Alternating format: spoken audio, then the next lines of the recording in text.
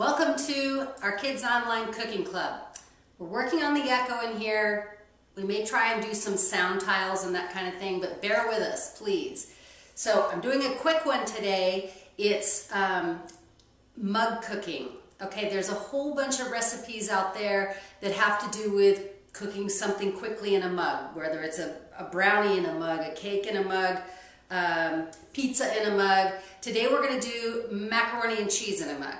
And so if you haven't washed your hands, go ahead and get that done. And I'll be here when you get back. Okay. I'm assuming you paused your camera so that it didn't look like I was just standing here waiting for you. But anyway, okay, so welcome to beautiful Priest River, Idaho, where it is a blue sky, sunny day, and the swallows are swinging by the window as we record this. So we're in our break room kitchen, working on the, still working on the sound thing. I think I have an idea, but we'll see.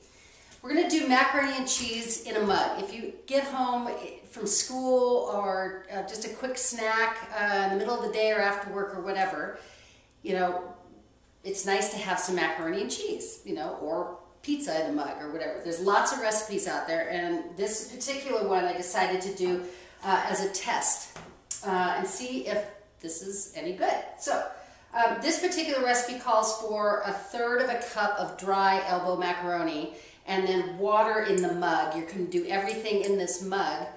Um, and then you boil it all in the mug and it cooks in the mug, but that takes about 10 minutes or sometimes more to do. And so I pre-cooked the elbow macaroni. I pre-cooked it in a pot and I just had some left over. So the idea behind this is you could use just leftover pasta, whether it's spaghetti pasta or shells or macaroni, elbow macaroni, um, and, and heat it up in the mug. So I will post the directions for this that will include how to cook it in the mug too, but I chose to do it this way to make it a little bit faster for us. So I am going to pop this in, warm it up just a little bit more.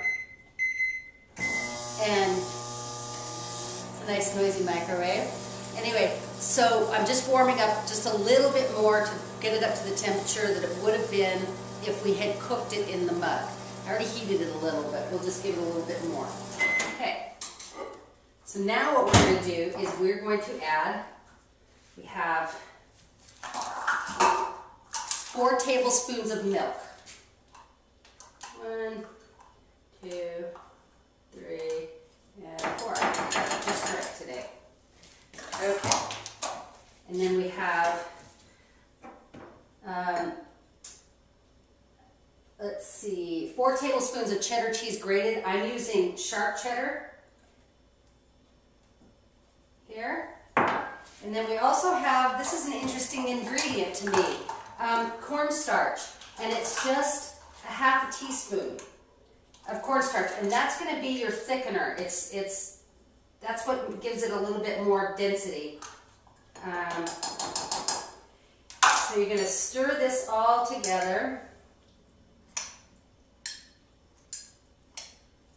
Stir it all together. See if we can get this right. Put a little more cheese in there.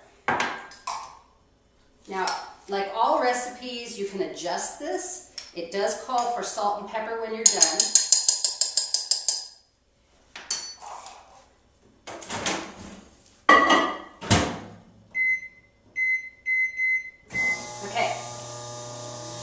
Pause our camera, I put the mug back in with the macaroni, the milk, the cheese, and the cornstarch, and it's supposed to cook for 60 seconds. So I'm just going to pause the camera for 60 seconds.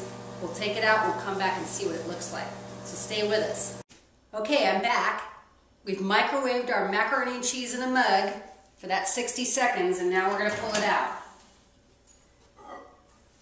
Ooh! Just have a new lunch thing to have for lunch. This looks terrific. I'm impressed. If you guys can see this, this is like ooey gooey macaroni and cheese. And it just has, so far, four ingredients. I haven't put salt and pepper or anything on it. It's just the milk, the cheese, the cornstarch, and the pasta. This could be really good. So, we're going to try it. Needs the salt and pepper but boy, that's pretty good. So quick and easy, mug cooking. I, who knew? So anyway, um, that's this week's recipe. I'm gonna go eat lunch now.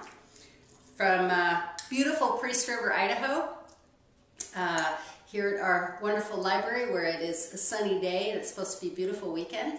Um, hope you have a great week and we'll see you soon.